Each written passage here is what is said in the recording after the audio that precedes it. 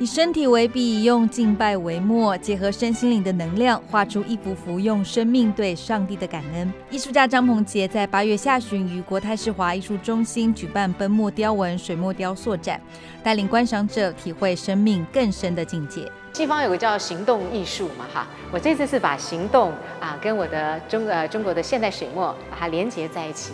我是一个带着向主的一种感谢、赞美跟敬拜。好来完成的。我带着墨奔跑，墨因我而奔放。在奔墨中，张梦洁把自己想象成了巨大毛笔，穿上特制的墨衣，透过奔跑、舞蹈等姿态创作的大型水墨。像我背后这幅画作，我一看它就觉得很符合圣经一句话：“压伤的芦苇，它不折断。”好像在一片的凌乱当中，有种温度在支撑它。我借着这个奔墨行动，也在表示，我们每一个人的生命都会有破口，都会有破碎啊。但是呢，如果我们有主的爱，有个正确的眼光，我们每一个人的生命往正向的向上提升的时候，我们都能够成为美丽的艺术品。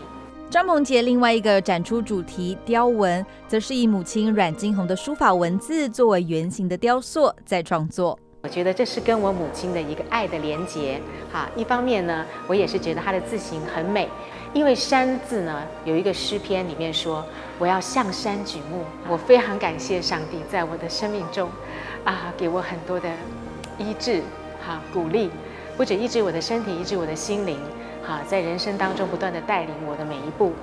张鹏杰领受了基督徒艺术宣教的负担，自二零一一年起便连接了海内外基督徒创作者，筹办跨界艺术展。明年预计在马来西亚展出，持续把对生命及信仰的热情透过作品呈现在众人的眼前。